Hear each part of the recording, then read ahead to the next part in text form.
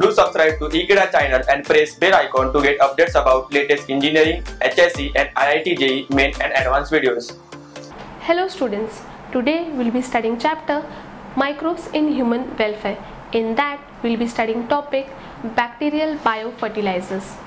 We all have seen how biofertilizers have helped humankind. One example of biofertilizer is earthworm. But do we all know there are biofertilizers available except that of earthworm? Yes. Anabaena, nostoc, cyanobacteria, all these are biofertilizer which are microorganisms. So let us study about them today. Today we'll be studying how bacterial biofertilizers have helped mankind and what are those bacterial biofertilizers.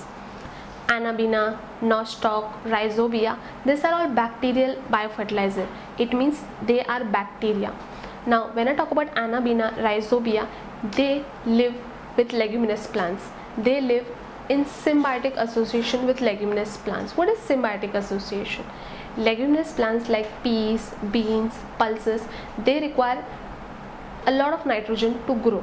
Now they cannot take all of this nitrogen directly. So what they do is inside the root nodules inside the soil where these plants grow there lives a bacteria called as rhizobia this rhizobia bacteria catches the nitrogen from the atmosphere and from the ground and give it to the leguminous plants. And in return these leguminous plants give the rhizobia bacteria food and shelter. So these two groups or the plants or the bacteria help out each other. This is a give and take relationship. And this give and take relationship is nothing but symbiotic association. Basically all leguminous plants which require nitrogen live in symbiotic association with one or another nitrogen fixing bacteria. Anabaena rhizobia azotobacter these are all nitrogen fixing bacteria there is a term called as leg hemoglobin. Leg hemoglobin means this bacteria resides inside the root nodules of the leguminous plants. When you cut leguminous plants, you can see the bacteria rhizobia present inside there in bunch. Let us understand how bacterial biofertilizers help plants.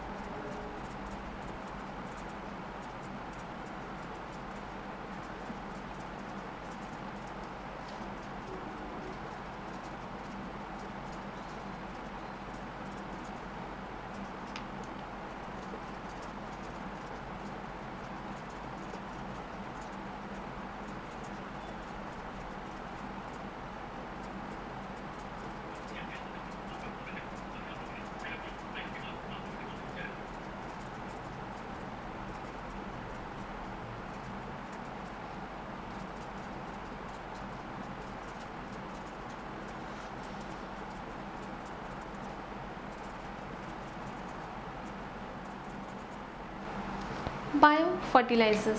An example of this is Rhizobia, Azotobacter, Xanthomonas.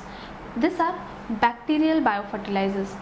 They are nitrogen fixing bacteria. It means they help to fix nitrogen in leguminous plants. They live in symbiotic association with roots of leguminous plants. Example, it could be bee or pea plant or any of the dal, whether it is tur, moong, matki since leguminous plants require nitrogen when they grow and that is approximately 80% nitrogen.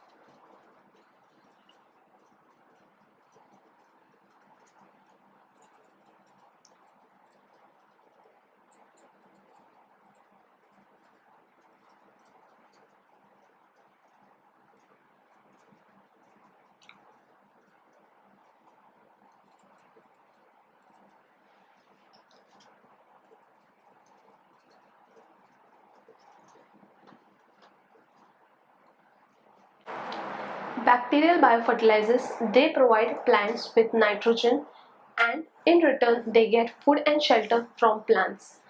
In the process of providing nitrogen, they help the plant to grow better. This is basically give and take kind of relationship. Both of them are benefited from each other. And whenever you grow pulses, rhizobia or azotobacter is present inside soil which help the plant to grow better and absorb nitrogen. I hope you all have understood what bacterial biofertilizers are and what is symbiotic association or give and take relationship. Thank you.